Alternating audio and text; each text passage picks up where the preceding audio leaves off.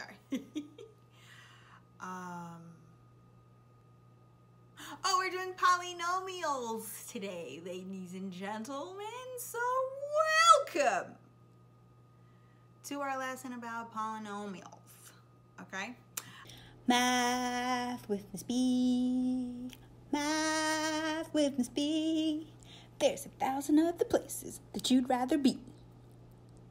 But you're watching Math with Miss B. Um, the lesson is black today. I was trying something new months ago when I made this uh, PowerPoint or whatever keynote. So it's black. I hope that's okay. I don't know. We'll see if we like it. Maybe we'll like it better. Ooh.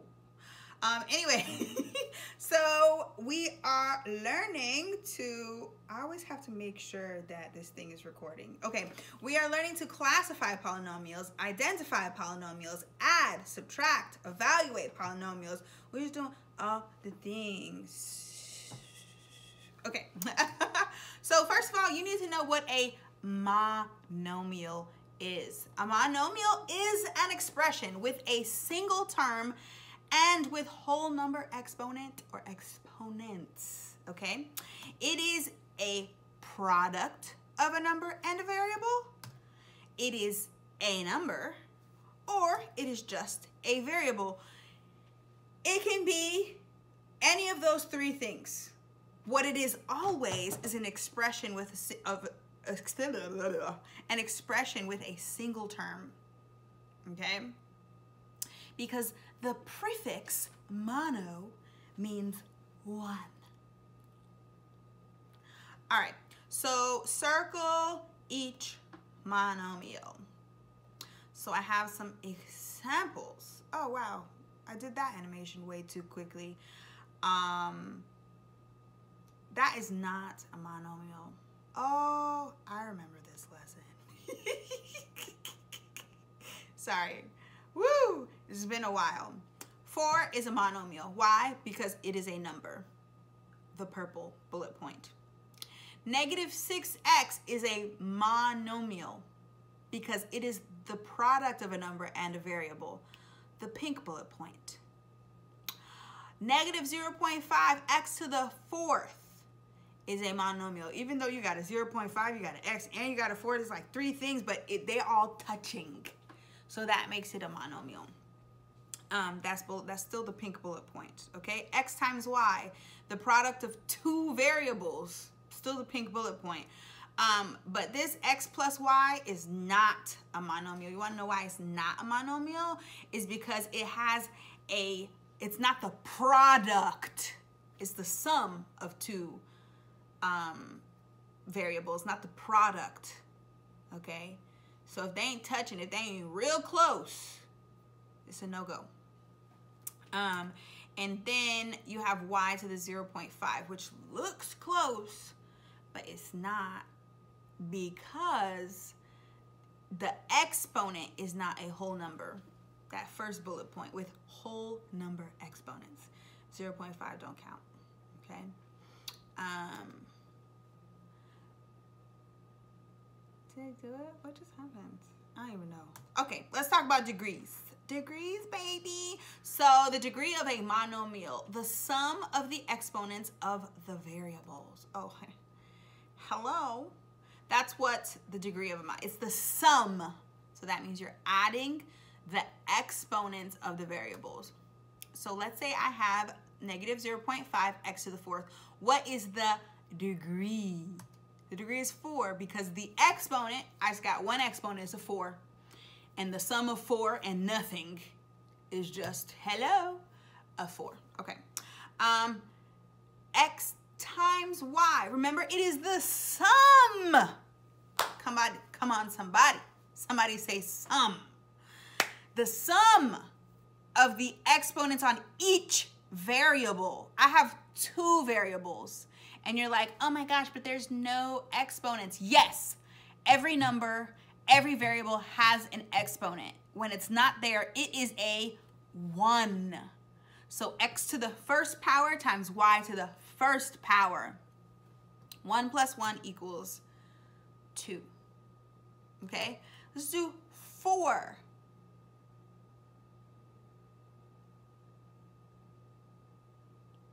It is the sum of the exponents on the variables. Are there any variables next to that 4? Absolutely not. So 0. No variable, no degree. Or we say 0 degrees. Um, negative 6x. That's to be... Ooh, excuse me. What's the variable? The variable is the x. What's the exponent on the x? A 1. We're getting a little tricky. Negative 6x cubed y. What's the variables? x, y. What are the exponents on the x? A 3. The exponent on the y is a 1. How many altogether? 4. Ta-da! That's how you find the degree of a monomial. Okay, let's talk about polynomials. So a polynomial is a monomial or the sum of monomials. These are examples of what that might look like.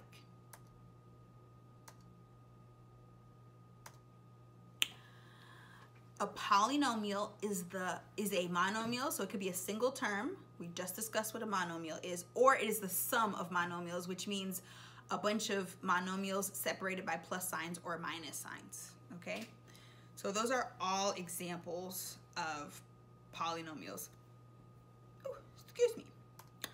Okay, the degree of a polynomial. So we talked about the degree of a monomial, so a single term, just by itself, right? Now we're gonna talk about the degree of a polynomial. So it is the greatest degree of its terms. So out of all of the monomials that make up this polynomial, which one has the highest degree? Okay, so the biggest exponent is a shortcut kind of. So this one's easy. I have 5x cubed, 8x squared plus 3x minus 17 degree 3 monomial, degree 2 monomial, degree 1 monomial, and a degree 0 monomial. So this polynomial is made up of four monomials. I'm only going to choose the biggest one to categorize the entire set, okay? And obviously, the biggest one is that 3, so I'm to categorize this as a degree 3 polynomial. You with me? Okay. Um, standard form of a polynomial is the greatest degree first, the constant last, or smallest degree last, okay? So this polynomial that we were just looking at is in standard form because I have a cubed, a squared, a linear, and then a constant. The first, when it is in standard form, I call the coefficient, that 5, I call that the leading coefficient. Okay? Um,